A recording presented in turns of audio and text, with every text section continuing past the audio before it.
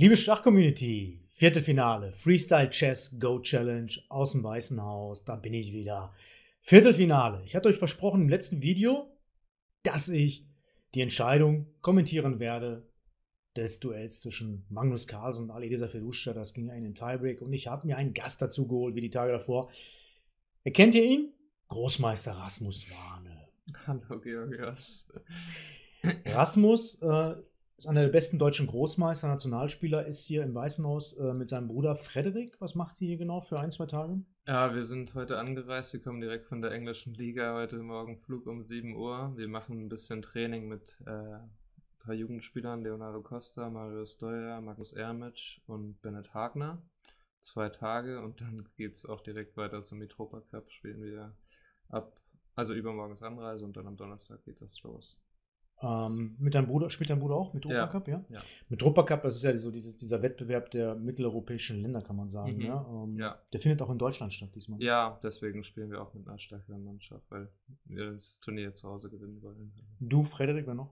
Äh, Matthias Blöbaum, Alexander Donchenko und Dimitri Kollas. Also das ist ja Also- im Prinzip Nationalmannschaft ohne Vincent, ja, ne? Vincent. Also jetzt im Moment Dennis und Dennis Wagner und Niklas Tuschenbeet sind von der ELO auch sehr nah an der Nationalmannschaft Ja. dran, deswegen ist das nicht so klar. Aber Okay, also das ist ja eine fette Mannschaft. Okay. Ihr seid ja alle über 2,6 Elo, ne? Das ist alles Mhm. sehr beieinander und so, alles sehr starke Spieler. Ja, bevor wir anfangen, möchte ich noch einen kurzen Hinweis geben. Äh, Rasmus ist, ich bin ein großer Fan von Rasmus. Er, er streamt nämlich seit zwei Monaten jetzt, ungefähr drei Monate auf Twitch. Ja, Er macht das seinem Bruder nach. Frederik hat ja früher gestreamt. Der hat ein bisschen aufgehört jetzt, so kann man das sagen. ja ne? ab und zu streamt aber jetzt nicht mehr so Mhm. regelmäßig. Aber du streamst jetzt immer Title Tuesday, immer dienstags Early Tide. Beide, ne? Turniere, kann das sein? Ja, ja. Ich spiele sowieso immer beide Turniere. Also ich Und dann da- hast du dir gedacht, kannst du Ja, eh streamen, ja. ne?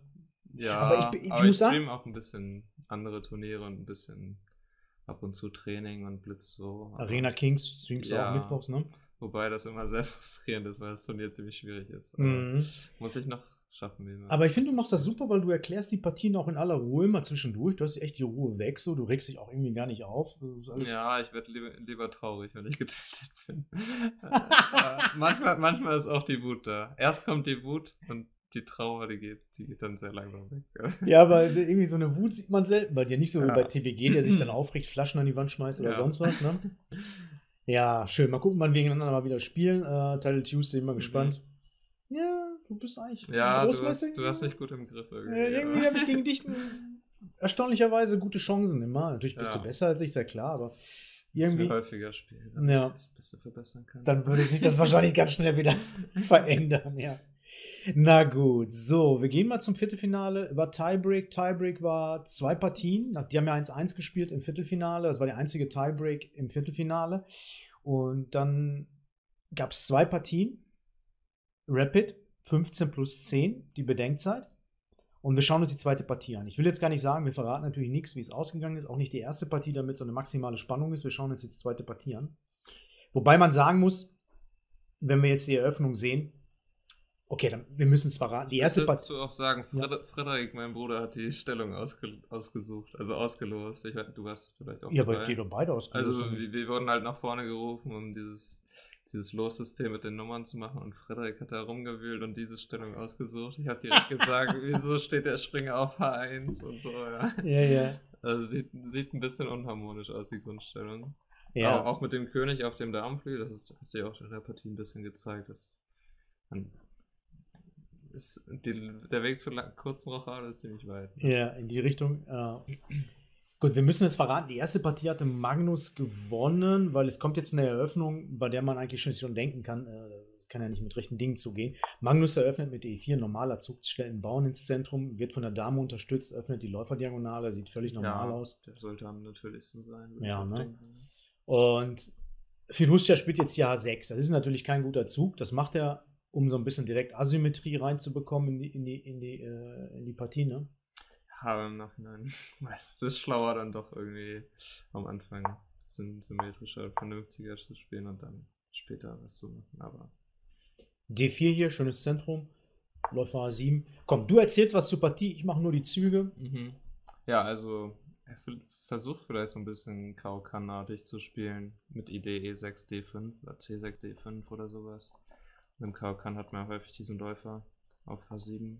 Mhm, interessant. Hier, Aber- hier finden Transferleistungen statt, ne? Von normalen Strukturen Mhm. irgendwie, ne? Ja, das Problem ist, der Springer steht auf H8 sehr, sehr komisch zum Beispiel. Mhm. Ist halt das Problem, wenn man im Fischer Random mit wenig Raum spielt, dann hat man häufig eine oder zwei Figuren, die langfristig schlecht stehen. War wahrscheinlich auch eine Partie so.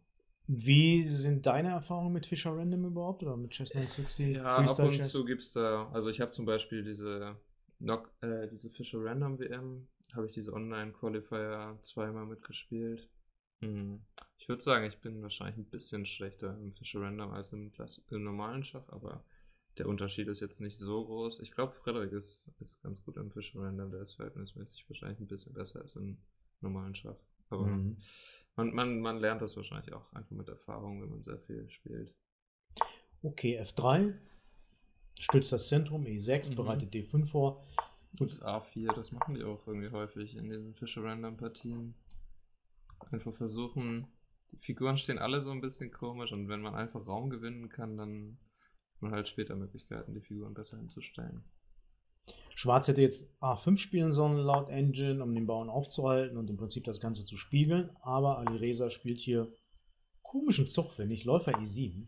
Er will wahrscheinlich D5 vorbereiten, weil Mhm. direkt D5 hätte Weiß schlagen können und dann hängt die Dame auf E8. Mhm. Würde ich jetzt vermuten. Mhm. Der Witz ist, die Engine sagt sowas wie Läufer G5. Ja, ja. War krass, ja. ja. Es geht sogar noch alles, Mhm. ne? Ja, taktisch. Also es wäre wahrscheinlich besser gewesen. Mhm. Läufer E7 ist nicht so gut. Boah, die Engine schlägt total aus hier, der Balken, ne? Krass. Mhm. A5 Riesenraumvorteil. A6 ist eventuell eine Drohung, die weißen Ja, Felder ja. schwächen hier, ne? Mhm. Deswegen macht Schwarz A6, stoppt den A-Bauern.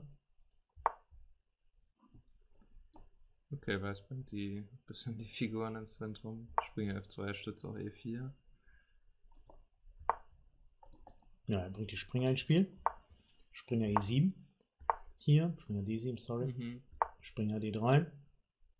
Ja, relativ logisch. Also er versucht wahrscheinlich C5 zu verhindern. Oder weiß ich nicht, ob das die schwarze Idee war, aber ist generell nicht so schlecht, ein bisschen Kontrolle zu haben. Springer F6 ist ein bisschen aufreizend, ne? Er kämpft zu wenig gegen das weiße Zentrum. Ähm, Ja. Er sollte wahrscheinlich versuchen, mehr Raum zu kriegen. Mit F5 hier wahrscheinlich, ne? Beispiel, ja. Also jetzt kann der Springer halt auch irgendwann rauskommen über F7 und so. mh, Eventuell F5, G, G5 auch. Mhm. Mit solchen Ideen. Man muss halt irgendwann Fischer Random irgendwelche Bauern nach vorne ziehen, sonst haben halt hauptsächlich die Springer keinen Platz Hm, und, und stehen halt fürchterlich. Gute Tipps hier. Also ich weiß nicht, ob gute Tipps von mir kamen. aber ist, ist so eine bist Theorie, eine Theorie, die ich habe, dass, dass man ein paar Bauern ziehen muss auch in dem Spiel. Ja, Habe ich schon mal gehört. Bauernziehen also ist gut. Carlsen macht das ja maximal. Er versucht so viel Raum zu kriegen, wie er überhaupt kriegen kann. Für all seine Figuren. Man sieht dann auch schnell, dass die weißen Figuren wesentlich mehr zur Stellung beitragen. Springer G6. Ja, bringt den Springer ins Spiel, aber so richtig gut stehen die da auch nicht. Ne? Der Ja, Läufer ist eingesperrt. nichts, ja. Fürchterlich. Läufer A4. Konkret hier. Mhm. Ja, jetzt hätte ich C6 erwartet hier, aber er will das Feld B6 noch nicht schwächen irgendwie, aber naja, er spielt Dame ich auch D8, Denken, C6. Also, Dame E2, bringt den, die Dame ins Spiel. Springer A5 droht jetzt hier so ein bisschen was zu tauschen. Mhm. Weiß verhindert das mit G3, das ist simpel. ja. Jetzt doch C6, ne? Ja, ein bisschen Zeit verloren da oben, ne? ja, er will wahrscheinlich jetzt die Dame ziehen und kurz rochieren. Das ist wahrscheinlich die Idee. Mhm. Läufer ist halt C2 schwierig, zurück. einen anderen Plan zu finden mit Schwarz. Ne? Ja, zur Rochade ist natürlich witzig, ne? Also wenn Weiß jetzt zum Beispiel Läufer F2 spielt, Dame D7, nur um das zu demonstrieren, kann Weiß hier rochieren. Ja, ich hatte auch überlegt, das ist vielleicht ein bisschen die Idee von Dame E2 auch gewesen, dass man die Möglichkeit hat. Mhm. Aber es ist lustig, dass der König über das ganze Brett rochiert. ja, ja, ja. ne? Schwupps. Aber man Ah. kann ja gar nicht lang rochieren, ne? Doch, Also, man kann den Turm ja, du musst wegziehen. den Turm wegziehen und Mhm. dann kannst du mit dem anderen Turm Mhm. lang rochieren. Genau, man müsste den Turm wegziehen und dann hier so rochieren, C1, D1. Ähm, genau. Aber wir hatten jetzt, Weiß spielte nicht Läufer F2, er spielte hier Läufer C2 zurück, sehr, sehr stabil hier. Mhm. Er braucht ja auch nur Remis, ne? Also Mhm. nicht, dass man hier auf Remis spielen müsste bei so einer Superstellung, aber Ja, aber die kommen ja in Zeitnot, ne? ne? Die kommen in Zeitnot, da Ja. wird noch eine Menge passieren. ja. Jetzt nimmt er hier zum Beispiel raus und äh, die Bewertung droppt ein bisschen runter. Er wollte hier äh, ein bisschen vereinfachen. Schlagen, schlagen, Springer E5, droht F7 hier. Er dachte wahrscheinlich, dass Schwarz konkret Probleme hat Mhm. mit den ganzen Sachen. Und dass er auch auf D5 manchmal tauschen kann und dann ist die Struktur symmetrisch und vermieslich. Im schlimmsten Ja. Fall. Und was macht Alireza? Er zieht den Springer zurück. Das sieht natürlich super, super hässlich aus mit dem Springer da hinten. Ne? Aber was hätte er sonst machen können? Wenn er nimmt hier auf E E5, DE5, Springer, äh, Läufer C2 natürlich, Turm C2 Ja. und Springer D7. Das wäre wahrscheinlich Tacken besser gewesen. Ja, aber jetzt kann man auch D5 nehmen im schlimmsten Fall. Und hier nehmen. Na, so klar ist das gar nicht. Ja, stimmt. So Ja. klar ist das nicht. Vielleicht ist. Also die Struktur sieht normalerweise gut aus, aber man könnte auch mit den Figuren jetzt rausspringen. C5, Dame F5. und Naja, sowas. Schwarz bekommt ein bisschen Platz Ja. für seine Figuren halt, ne? Also es war nicht so, ne? Ansonsten DC4 wäre vielleicht auch ein möglicher Hier, ne? Also hatte ich zumindest überlegt. Mhm. Kann man jetzt so schlagen und Springer B6. Dann gibt es das Problem hier. Mhm. Springer D5 war eine Idee. Ja, kann man wahrscheinlich einfach auf F7 Ah, nee, F7 schlagen links, und F7 links. zurückgehen. Ja, F7. Einfach einen Bauern mitnehmen. Und Schwarz hat immer noch, immer noch Probleme mit der Königsstellung und so. Ja, er zog den Springer zurück.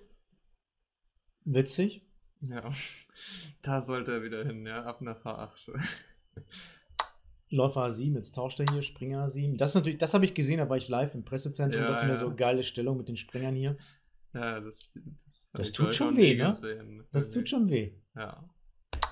CD5, jetzt tauscht er ein bisschen was. ED5, wie du sagtest, er will vereinfachen. Mhm. Tauscht Bauern, tauscht die, die Türme hier. Ja, die Stimme ist natürlich immer noch mega. Mhm. Springer B3 verbessert den Springer, der guckt hier rein. Ja. Springer G5, jetzt kommt er da wieder raus. Eventuell hier nach E6. König B A2 will den spielen. Dame E8. Hier muss man ein bisschen aufpassen, ne? Hier muss man ein bisschen rechnen, ne? Ja. Ich hatte überlegt. Eigentlich will. Ah, aber Schwarz kann nicht kurz rochieren, ne? Er kann mit dem Turm nur lang rochieren. Von Ba- daher ja. ist er nicht so darauf erpicht, das zu machen, weil der König dann immer noch schwach ist. Guck mal, Turm C1 hier, wie gut er rechnet. Ja. Dame A4 geht nicht. Weswegen? Springer D7. Springer D7 Schach, König A7 und jetzt hängt der Läufer hier. D7 und Dame C5 kommt gleich. Mhm. Zu viele Probleme, weil steht komplett auf Springer Gewinn. E6, dann gibt es eine Falle. Man sollte nicht auf F7 schlagen, weil überraschenderweise deckt der Springer. Ja, ja, Springer deckt hier. Ja, ja. Falle. Hat, hat man auch nicht alle Tage, dass der Springer auf A8 den F7 deckt. Springer B6 ist hier wahrscheinlich komplett gewonnen, ne? Mhm. Es gibt hier so Motive mit Matt an der Stelle, Ja. wenn der Turm irgendwie verschwindet. Ja, also es war taktisch gewonnen, aber das ist schon interessant, dass Magnus natürlich auch das alles rechnet. Ja, das musst du einmal durchrechnen. Aber das ist natürlich für so einen Spieler nicht so extrem schwierig, aber du natürlich sehen, die Idee. F6. Jetzt wird's konkret, der Springer hängt und jetzt fängt Magnus an zu brillieren. Unser einer würde den Springer zurückziehen.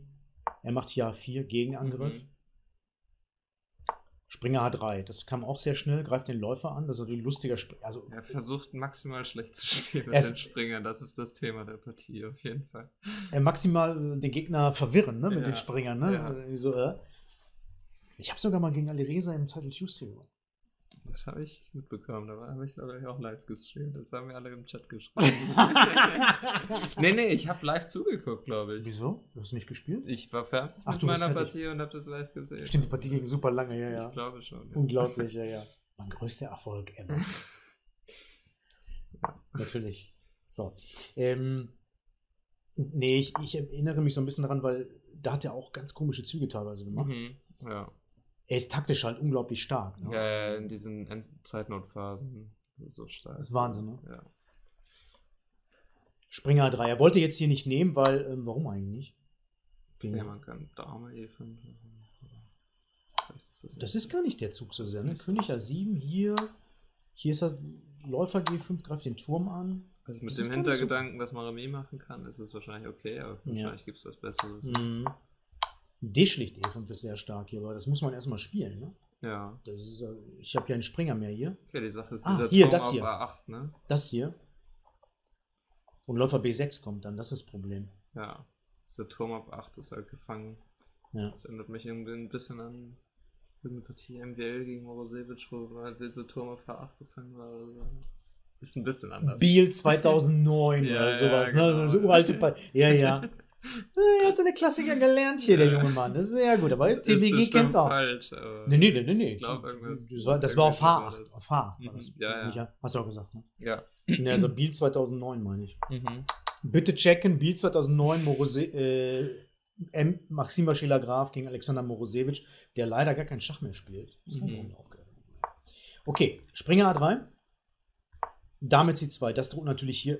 Dame C7, Dame, Springer mein C6, Gott, ja. Dame C7 und Springer C6 sofort im K.O. Beziehungsweise auch Dauerschach würde ihm ja auch reichen für. Stimmt, stimmt, ja. Deswegen kann äh, da, Schwarz das nicht zulassen, spielt Läufer D6, deckt hier das Feld. Mhm. Und jetzt hier Läufer E3. Und hier, ich kann mich erinnern, da waren wir im Läufer Presse. E3. Ja, Läufer E3, verrückt, ne? Wieso nimmt er hier nicht raus? Das haben wir uns dann überlegt, so, Ja. so, so, ja. Im schlimmsten Fall wieder Remis, ne? So? das gewinnt einfach hier. Das muss er alles gesehen haben. Dame E8. Und hier gewinnt Springer Springer, D3 oder so A6. einfach wahrscheinlich. Nee. Dame F5. Ah, Dame F5. Alter, okay, die schwarzen Figuren, ey. Schwarz hat eine Figur mehr, aber guckt euch die Das ist Figuren heftig, ne? an, ey. Das ist geil. Die weißen Figuren harmonieren perfekt und die schwarzen Figuren, man kann sich keine schlechteren Felder ausdenken für die. Verrückte Stellung. Aber ich weiß nicht, ob er das alles berechnet hat. Ey. Der, der zog halt Läufer E3 sehr schnell. Gut, der ist unter zwei Minuten inzwischen, ne? Das ist also Mhm. schon ein bisschen Zeitnot. Okay, er will den Läufer nicht geben gegen den Springer. Weil hier natürlich klar, ja. Ja, Gut, er muss natürlich das, äh, das Opfer berechnet haben. Ich, ja, ja, Ich- natürlich. aber der Witz ist, Alireza zog ganz schnell auch. König A7. Mhm. Ja, gut, 20 Sekunden, okay, so ganz schon auch wieder nicht. Er nahm nicht raus. F4. Cemento. Ja, ja, Sagt das immer- würde Peter Leko sagt immer. Cemento. Ja, ja. Also er mischt da im Prinzip Englisch mit Deutsch, ne? Zement gibt's doch im Englischen gar nicht.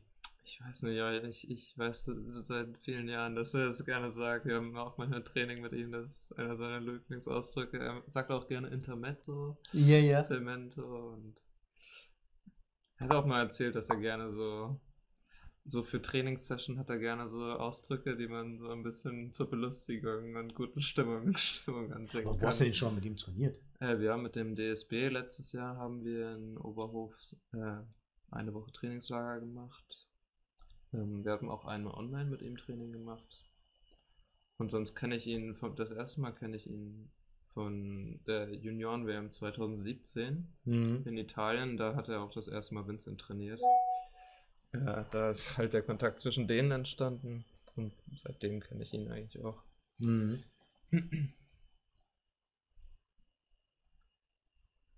So, zurück zu Partie. So, zurück zur Partie. Ich muss kurz nachdenken. Ähm, Turm D8 hier. Ähm, er will nicht nehmen. Also hier geht sowieso nicht nehmen Ja. wegen Schach. Das ist jetzt natürlich offensichtlich. Mhm. Ähm, hm, wobei man kurz schauen muss. Den König B8. Ach, das, Kann im schlimmsten Fall den Läufer ziehen. man, Läufer B6 man kann sogar nehmen, ne? Ja, Man kann sogar nehmen und gewinnt sogar hier auch das hier. ja Springer C5 und sowas. Das gewinnt wahrscheinlich beliebig. Ja. ähm, Also ich meine, Schwarz hat eine Figur mehr, aber Springer auf H3 und Springer auf H8, eigentlich kann man sagen, Weiß hat eine Figur mehr. mh. okay, Turm D8, damit König A8 möglich ist. Ja. Springer C5 hier. Jetzt kommen die natürlich in Zeitnot, ne? Guck Ja, mal. langsam fängt, fängt Und hier passiert etwas sehr, sehr Ungewöhnliches. Dame B5 bringt die Dame raus. Ja, Und hier ist er bei einer Minute, denkt relativ lange nach, fast ah, und spielt. Dame B3 Er hat mit drei Sekunden gezogen wahrscheinlich, Ja. oder? und dann Panik so ein bisschen. Ja, ja. Und das ist ein Fehler, Dame Ja. B3. Ähm, er hätte hier Springer E6 spielen können, zum Beispiel. Ne? Den Mhm. Turm angreifen, hier angreifen. Ja, dann hat er immer noch die dominante Stellung. Ne? Ja. Aber Dame B3 ist eigentlich ein dicker Fehler. Denn jetzt hätte Alireza Läufer schlicht C5 spielen können. Und dann den Springer schlagen auf E5 danach. Und dann so, so. Ah, nee, nee, nee, Moment, Moment. Das Beste ist Dame B5. So, Turm C5. Turm C5, hier, hier. Ja. Schwarz hat eine Figur mehr. Der Witz ist, die Engine sagt, das ist ausgeglichen. ja, dieser Springer auf H3 ist immer noch gefangen. Ne? Gut, der, der wird aber nicht gewonnen von Weiß. Ihr habt immer G5, G4 zur Not. Ja. Oder? Oder sogar nehmen. Ja, er wird nicht gewonnen, aber der steht halt da rum und macht gar nichts. Also ich Trotzdem. habe halt diesen E-Freibauern mit Weiß. Aber ist natürlich, ist verrückt, ne? Dass das trotzdem ausgeglichen ist irgendwie. ist natürlich eine überraschende Also Steuerungsbewertung, dass es gerade gerade Ausgleich ist. Aber. Hier hätte sich die Partie drehen können. Ja, ja. Magnus hat kaum noch. Zeit. Ja. Also das ist ein dicker, dicker, dicker Fehler eigentlich, dieses Dame B3 hier. Ähm, Alireza aber zog nicht Läufer schlicht C5. Vor allem Läufer C5 ist sehr geradlinig, ne, oder?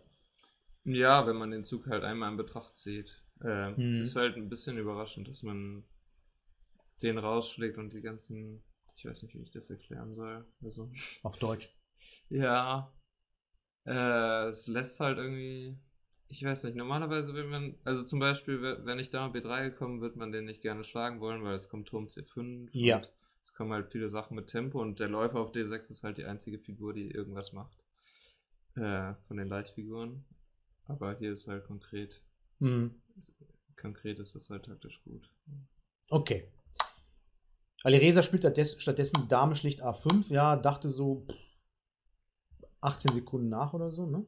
Ja, dachte wahrscheinlich, Damen darf ich nicht tauschen, weil dann Mhm. habe ich immer noch die, die Probleme von vorhin. König B1. Jetzt geht er zurück, aber das ist wieder sehr Ja. schlecht. Es wird auch Panik gewesen sein von ihm. Mhm. Weil dieses Endspiel ist halt. Ja, jetzt Verloren. sammelt halt man halt den Springer ein. Mhm. Und Schwarz kann Ja. den Springer auf E5 nicht schlagen wegen der E5 immer noch. Ja, und jetzt plötzlich der Springer weg am Ende. Wird eingesammelt. Ja. König A8 geht hier raus. Jetzt droht aber FE5, oder? Hm. Ja, es droht FE5, aber Weiß, Weiß schlicht halt auch den Springer und hat halt immer noch. Ja, die Sache ist, wenn der Springer in der weggeht, Stellung. dann kommt ja sowas hier eventuell. Ne? Mhm. Okay, nimmt hier raus. Zack, zack. Ja, jetzt ist Zack. völlig hinüber. Ja, Ja, ich habe halt diese Freibauern, du hast immer noch deinen Springer auf H8. Ja, ich habe zwei verbundene Freibauern. Der Springer auf E6 steht super, bindet den Turm auf G8. Ich kann Turm D1 machen, den D5 einsammeln. das sieht ein Großmeister sofort hier. F5, der Springer ist wirklich ein Monster. Kann es sein, dass wenn ein Springer im gegnerischen Lager auf E6 landet, dass es fast immer Ja, devastating ist? also wenn der einfach so rumsteht und, und nicht angegriffen wird, Heftig, ne? Ist mir auch schon in meinen Partien macht auf das schon ein bisschen Randale. Ja. Läufer D8 verhindert Turm C7, aber nach Turm C5 gab hier Mr. Firuzia auf. Vielleicht ein bisschen früher hätte, war aber gut, okay, was heißt früh, ja, was man also machen? die ne? Sache ist, ich schlage auf D5, es ist fast matt sogar. Also nach König E7 kommt auch noch Läufer C5. Ich kann immer meinen G-Bauern G4, G5. Und dann ja Springer wegziehen, die Bauern laufen durch und schwarz, die schwarzen Figuren haben gar keine Züge quasi. Mhm. Okidoki. Das war unsere Analyse der entscheidenden Partie. Magnus Carlsen also im Halbfinale trifft dort, ich weiß gar nicht, ob er trifft, weißt du das? Nee. Ähm, habe jetzt nicht geguckt vorher leider. Ähm, wenn das 1 gegen 8 war, 2 gegen 7, Magnus war. Ach, Magnus war 5. 5. Magnus war 5, ne? Äh, Abdus, äh, müsste Abdus Satorov. Müsste Abdus Satorov Also wenn 1 gegen Ja. 4 spielt. Mhm. Abdus Satorov ist ein Monster im Chess 960. Also ich weiß nicht, du hast diese Chess 960 WM in Island wahrscheinlich auch gesehen. Der ist da, Mhm. ich weiß nicht, welchen Platz er gemacht hat, dritter oder vierter, aber in der Vorrunde hat er, hat er alle besiegt. Er hat irgendwie Mhm. jede Partie gegen eine Pomnischi gewonnen oder so. Ich kenne den auch, ich habe glaube ich auch im Online-Qualifier Qualifier gegen ihn gespielt. Da hat man gemerkt, er hat irgendwie ziemlich Talent gerade für Chess 960. Also ich bin nicht Ich glaub, so der- überrascht, dass der da. Ich glaube, so- der, so der spielt hat hier. überhaupt Talent für Schach, ne? Kann man Ja, sagen. aber ist so ein bisschen unterschiedlich, wer, wer gerade im Chess 960 besser ist und wer schlechter. Also für, irgend, für irgendwelche Leute kommt das nat- natürlich, ja. Dir danke ich schon mal, dass du dabei warst, dass Ja, du dir die danke. Zeit genommen hast und ich denke, morgen könnte dein Bruder hier auftauchen. Und dann schauen wir mal, schauen, ja. wer von euch beiden das hier besser gestaltet hat. Ja, mal schauen. alles gleich. Danke dir, viel Spaß noch hier im Weißen Haus, ähm. Rasmus, und überhaupt viel Glück und alles. Mach's gut. Danke, mach's gut. Hä? Du bist immer noch am Start? Du hast dir tatsächlich das gesamte Video bis zum Ende angeschaut?